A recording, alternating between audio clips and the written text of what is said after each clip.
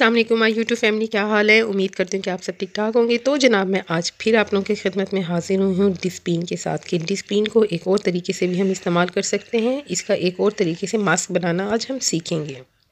तो इस टिप के लिए हमें क्या क्या चीज़ें चाहिए? हमें लेंगे इसमें दो डिस्पिन ठीक है? अगर आप लोगों को ज़्यादा की ज़रूरत है तो आप लोग ज़्यादा भी इस्तेमाल कर सकते हैं।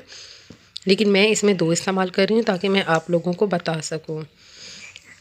और हमेशा मैं आप लोगों को बताती हूँ कि डिस्पिन का मैं पाउडर नहीं बनाती क्योंकि ये ख़ुद ब खुद हल हो जाती है। जिस टिप में मुझे पाउडर की ज़रूरत होगी, मैं आप लोगों को ये भी बता दूँगी कि हमने इसमें पाउडर यूज़ करना है।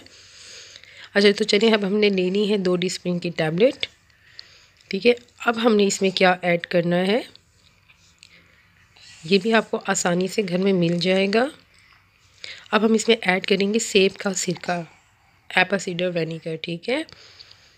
और डेयर्स ये बात याद रखें कि जब भी आप कोई भी मास्क या टिप यूज़ कर रहे होते हैं तो आप उसका एक टेस्ट पैच ज़रूर लें। मैं अपनी पहले भी रेमेडीज़ में ये आपको कह चुकी हूँ कि फ़ौर फेस पे अप्लाई ना करें, क्योंकि हो सकता है कि किसी चीज़ से आपको इरीटेशन हो।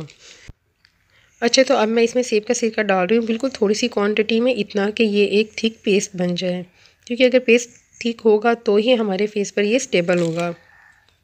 ये देखिए, मैंने इसमें डाल लिया और आप देख सकते हैं कि जो डिस्पिन की टैबलेट है, वो इसमें घुलना शुरू हो गई है। अच्छा ये अब इसमें ना हल होना शुरू हो गई है, ठीक है, आप देख सकते हो।